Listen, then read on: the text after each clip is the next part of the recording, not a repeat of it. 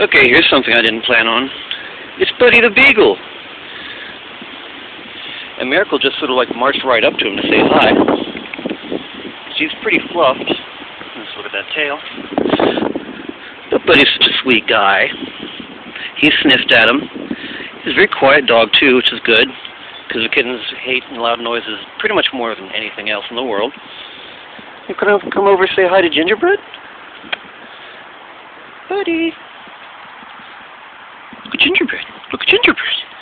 Hmm? Yeah, a little too much for Gingerbread. William is, of course, staying way the hell away. Alright. Well, I think that's enough for today, don't you think, buddy? Yes. Alright, guys. Let's sort of herd you all back in. Oh, come on. Well, William, say hi. There. There we go. Bye-bye, buddy.